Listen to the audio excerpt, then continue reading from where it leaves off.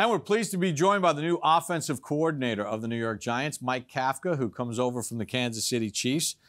Welcome to the New York Giants, Coach. Um, just talk a little bit about the transition and getting this opportunity on Coach Daboll's staff.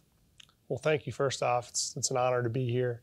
Um, it's an amazing opportunity, and you know, me and Dave's go back a little bit, and uh, to be able to jump into the staff with the amount of energy that it's creating with between him and Joe. Um, putting together this thing has been awesome. So much fun. You mentioned that you crossed paths with Coach Daboll. That was what when you were a player, right, with the New England Patriots. That's right. That's right. Probably close to ten years now, eight eight to ten years now. Um, in New England, we we crossed paths and got to know each other a little bit better. All right, Giants fans, don't hold it against him. He was drafted by the Eagles. Uh, just joking around with you.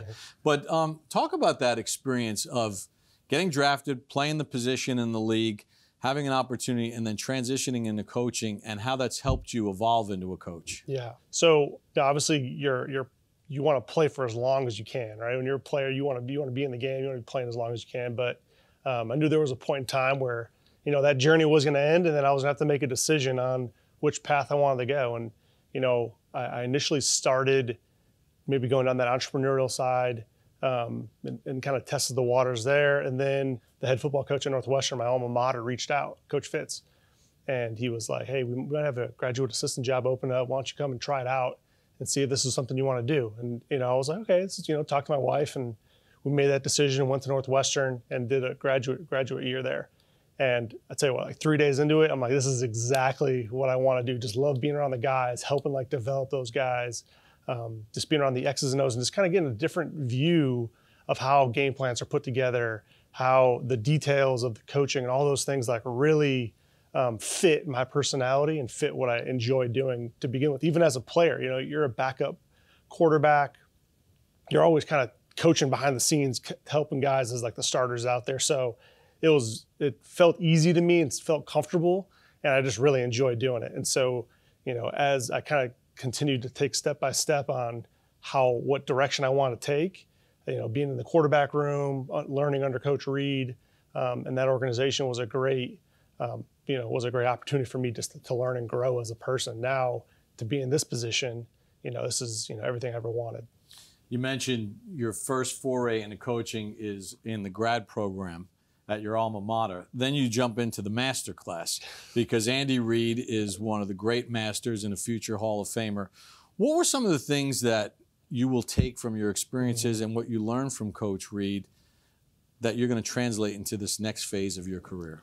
Yeah, I mean, I think big picture wise, you, you always think about you know generating those explosive plays. You know, the Kansas City offenses they're they're going to throw deep. We're going to do those type of things downfield. I think that's important to understand that um, and understand that there has to be an element of your offense. Now, we got to take a step back and make sure it fits for our personnel, fits for the quarterback, fits for offensive line. But I think you want to be able to find ways to generate explosive, especially in this this day and age in, in the NFL. Coach Daboll obviously had spent a lot of time in New England uh, working with the Patriots and then doing what he did in Buffalo. You come more from the Andy Reid tree. What does that say about him that he's willing to branch out and bring different thought processes to this Giants offense? It, it, it's unbelievable. It's from day one. He's been um, very open about you know making sure that we can collaborate on this thing and make it not the Chiefs offense or the Bills offense, but the New York Giants offense. So you take a look at some of the personnel that's here. Obviously, Daniel Jones had an outstanding rookie season. Um, there's been a lot of turnover as far as the coaching staff's concerned. But like the quarterback you were with in Kansas City, Patrick Mahomes, and the one Coach Daboll was with um, in Buffalo and Josh Allen, athletic. Brings a lot of athleticism to the table. What are some of the things that you guys hope you can bring out of DJ? Yeah, I mean, I think you said it. He's athletic. He can make every throw outside the pocket. Um, I think he can throw from different launch points. I think that's some of his best stuff. So, you know, just it's about making sure that we can make him as comfortable as possible um, put him in positions to be successful and um, make sure the playmakers around him can also be in positions too. So it's not just a one man show.